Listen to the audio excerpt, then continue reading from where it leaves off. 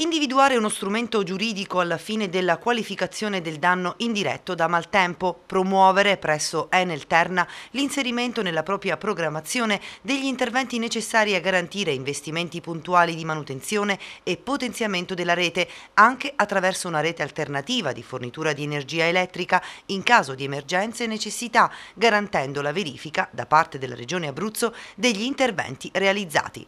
promuovere l'istituzione nell'ambito della struttura del componente Dipartimento Opere Pubbliche, Governo del Territorio e Politica Ambientali della Regione Abruzzo di un servizio di prevenzione multirischio, rischi geologici, idraulici e sismici, promuovere un piano di interventi sulla sicurezza scolastica garantendo investimenti per superare la vulnerabilità sismica anche attraverso la realizzazione di nuove scuole e di poli scolastici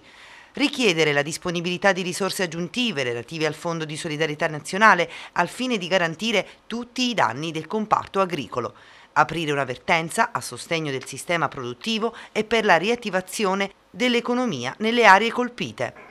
Sono questi gli otto punti del documento sull'emergenza abruzzese approvato ieri sera a Pescara durante la seduta del Consiglio regionale sul maltempo. Un documento che, come detto, impegna il Presidente della Regione Luciano D'Alfonso a promuovere presso il Governo tutte le azioni opportune e necessarie ad ottenere un risarcimento pieno e omnicomprensivo degli effetti dell'emergenza del mese di gennaio. Non solo analisi ma anche proposta, da un lato ricostruiamo tutto quello che è accaduto anche in termini numerici affinché diventi massa critica del dossier nei confronti del governo, dall'altro apriamo un'avvertenza a Abruzzo con una serie di proposte. Così il consigliere regionale Camillo D'Alessandro che ha invitato tutte le forze politiche all'unità di intenti. Il documento è stato approvato a maggioranza con l'astensione del Movimento 5 Stelle, naufragato invece il tentativo dei grillini di istituire una commissione d'inchiesta.